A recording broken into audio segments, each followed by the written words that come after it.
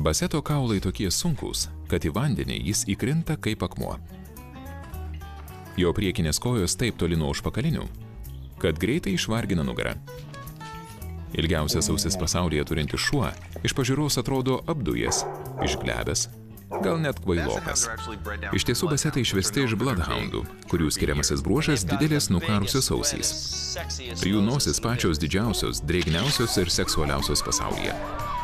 Dėl tingaus ir geručio šuns įvaizdžio nuo 1950-ųjų basetas laikomas Amerikos simboliu.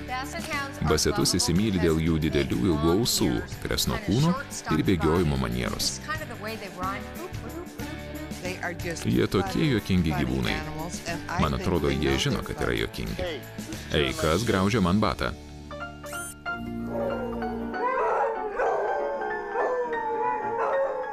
Liz ir Džekas Šilindžeriai, du į pensiją išėję profesoriai, pamišę dėl basetų.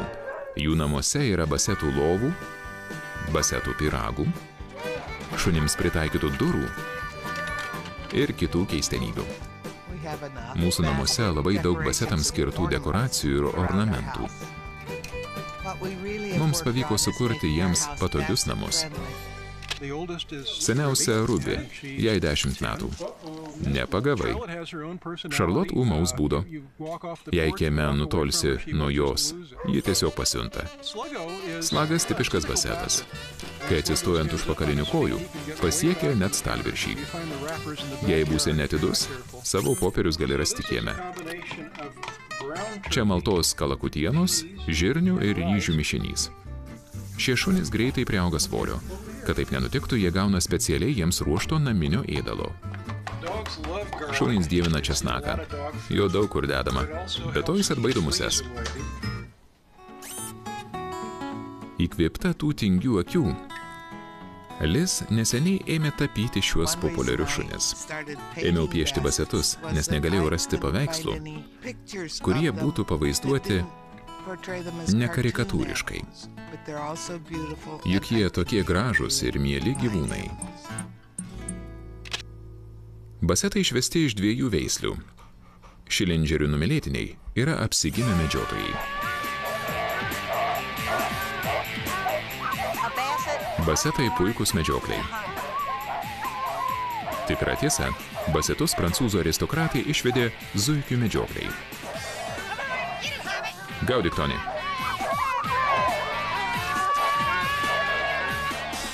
Pasakojama, kad prancūzų generolas Markizas de Lafayetas pirmąjį basetą į Ameriką atgabeno kaip dovana Džordžui Vašingtonui.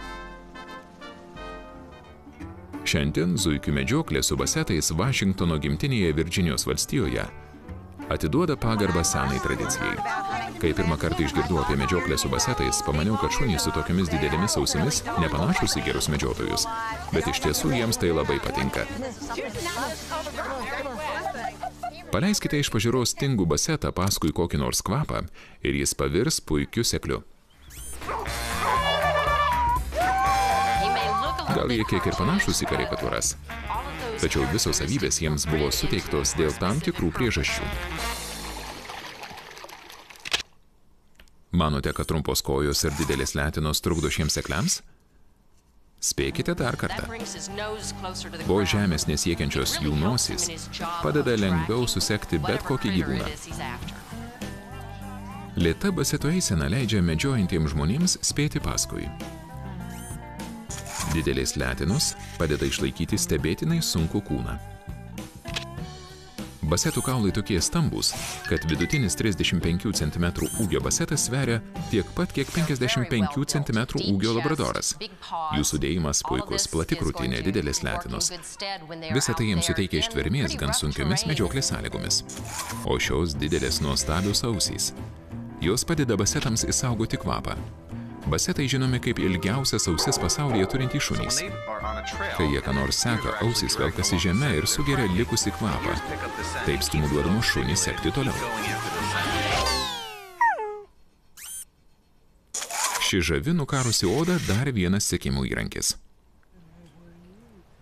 Taip pat į tikrą palaimą basetų mylėtojams. Žmonės labai mėgsta juos apsikabinti ir myluoti, nes jie atrodo tokie meilūs. Tu tikra meilutė. Kad tankiuose krūmuose būtų lengviau pastebėti basetą, medžiotojai jį išvedė su baltų uodegos galiuku. Prie naminio gyvūno ir medžioklinio šuns savybių puikiai dera išskirtinė nosis. Jų nosis nusileidžia tik bloodhoundams. Basetų nosis tobulas instrumentas. Joje yra beveik 20 milijonų kvapo receptorių. Palyginkite, žmogus turi 5 milijonus. Kaip ir bloodhoundų, basetų snukis ilgas ir gilus. Nosis vienu metu gali pajusti daugybę kvapų. Tuoj pat įskirti vienintelį ir jį susekti. Išvydęs zuikį jis pasileidžia paskui, lyg žinodamas, ką turi daryti. Ypač nuostabu stebėti, kai tą daro visai jauni šunyčiai. Gerutis. Ramus ir meilus basetai tikri numylėtiniai. Nėra nieko geriau, kaip parsinešti mažą šunytį ir mokyti jį nuo pat pradžių. Tiesa, mes jau turime keletą šunų, kurie padeda mokyti naujoką. Basetai sugeba atsiminti visus kvapus. Bet jie turi ir išskirtinį savo kvapą. Kukurūzų traškučių, tarsi praviras kukurūzų traškučių maišelis, tai nuostabu. Baseto aplinka apibūdinama įvairiai, bet aišku viena. Šią iš pažiūros romiai veisliai reikia erdvės. Man patinka, kai šie šunys turi daugiau vietos. Ši stipri veislė vis dėlto turi ir keletą sveikatos bėdų, tokių kaip pilvo pūtimas ir stuburo skausmai. Ilgas, sunkes ir nukarusias ausis dažnai kamuoja ausų uždegimas. Dėl trumpo kailio ir gan menko šėrimusi šią veislę prižiūrėti labai lengva. Kadangi jie beveik šliaužioja žemę, todėl greitai susipurvina ir prašosi dažnų maudinių. Jie meilus, bet dresuoti juos sunku. Užsispyrė, užsispyrė, užsispyrė ir dar kartą užsispyrė. Jei jie nenorės ko nors daryti, tai ir nedarys. Sėdėt. Jų nesustabdysim apsnūdę mylintis ir prieraišus basetai, nereiklus ir draugiški šeimos gyvūnai. Labai smagu, kad ir mūsų anūkai myli šios šunis. Taigi basetams reikia erdvės. Šiems palyginti stipriaus sveikato šunims reikia dažnai valyti ausis. Jie užsispyrę ir sunkiai dresuojami, bet puikiai sutarė su vaikais. Mes negalėtume rasti nieko geriau už basetą.